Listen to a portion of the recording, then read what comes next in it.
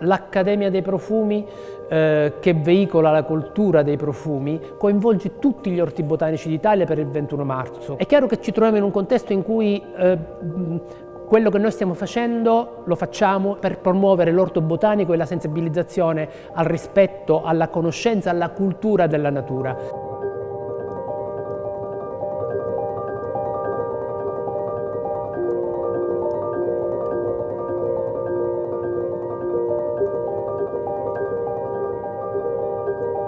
Abbiamo scelto le metamorfosi di Ovidio per raccontare l'amore e il connubio con il profumo all'interno dell'orto botanico perché in realtà crediamo che il testo sia molto pregno di, di metafore e di um, allegorie che si sposano molto bene con l'aspetto sensoriale. La trasformazione del corpo e dei corpi dei protagonisti di questi nostri miti uh, diventano la motivazione attraverso cui um, il, il, il, profumo si fa carne, il profumo si fa corpo e quindi aggiunge un ulteriore elemento uh, a quello che invece è l'aspetto più attoriale, cioè la voce e la prossemica, l'utilizzo dello spazio.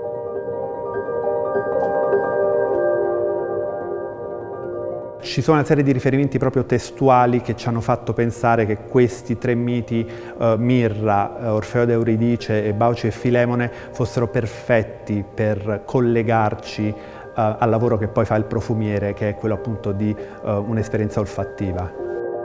Eh, associare un profumo ad uno spettacolo teatrale può essere fatto in uh, diversi modi. Eh, può essere uno spunto dalle parole, per esempio il mito di mirra sarebbe troppo facilmente associabile a un profumo alla mirra oppure proprio a far sentire l'olio essenziale eh, di mirra. Ho cercato di eh, creare qualcosa di ulteriore quindi qualcosa che potesse andare oltre. Per cui il profumo non vuole evocare gli odori che sono citati nel, eh, nei miti, eh, bensì vuole evocare l'atmosfera, vuole parlare delle emozioni eh, che riesce a creare il mito, eh, che vengono comunque magnificate eh, e diciamo, amplificate eh, da un profumo, che evocando delle emozioni riesce a farci visualizzare dei sensi ulteriori del del mito. Per cui niente è più forte dell'olfatto, niente è più forte di conseguenza del profumo, che, come dice Suskin, essendo fratello del respiro, è inevitabile.